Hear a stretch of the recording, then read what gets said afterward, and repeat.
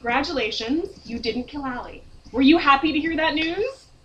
I mean, honestly, no, I was super bummed. I was like, I, you know, for me, anything when Spencer goes off the rails is like the most exciting part of the season for me. And so I was like, come on, guys, I know, I know Spencer has to be like one of the good people and like she can't kill Ali. But I was like, she didn't kill Ali. Obviously, Ali's still alive. And we know this, so maybe she tried to. Can we please make her try to? And they were like, no. So I was like, fine, cool.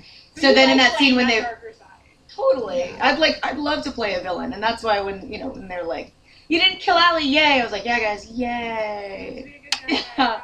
Cool.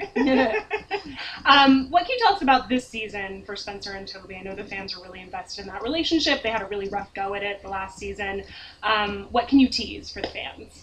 Um, I can definitely tease that we, I just came from a Toby and Spencer scene today, um, and Are you uh, going back to it, and which way are you going so that I can follow you? right? Uh, no, sadly, Keegan Allen has left the set. Oh, okay. Keegan. Keegan gets to go have his own day. Um, he is done with Toby for the day.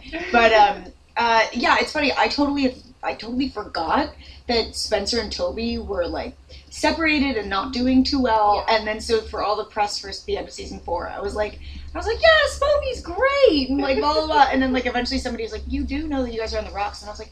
Oh my god, right? Because we were already shooting other stuff. So right, right, right. you know, Spencer and Toby, they're always they're very passionate people. They're also very bizarre people. I think that's why they fit together. So they're always gonna kind of like be right on the same line with each other and be like, you know, side by side and then and then he's gonna leave town and she's gonna get mad and then they're gonna crisscross again and that's what always happens. The show, I mean, the audience is they're so devoted. The fans are so devoted. The ratings are better than ever.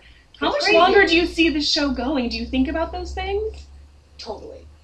yes. I, yeah, pretty much like all the time. Um, no, just um, just because I'm, I'm very very aware that it's a very uh, we're very lucky, and I know that that goes away like that, you know, and and um, and as as bizarre as it can be to sometimes not be able to like go to a very populated place without getting recognized. I conscious I'm like very very conscious of the fact that like I'm like well everybody's recognizing you now and just imagine what it's like when like in a year or two when the show's off the air and everybody's like kind of like oh maybe that's that chick from I don't really care you know so it's um I'm always thinking about that and definitely feel very grateful for the fan following and uh, I think that we are definitely we shot more Pretty Little Liars than we are going to.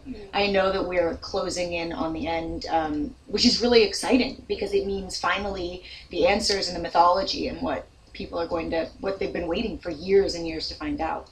So season ten not gonna happen. crushing my dreams. Oh, right am I now. crushing your dreams? Yeah. I don't want to be 35 in high school. you want to be a 35 year old high school student? What's wrong with you? Maybe not so much. I've been in high school since high school.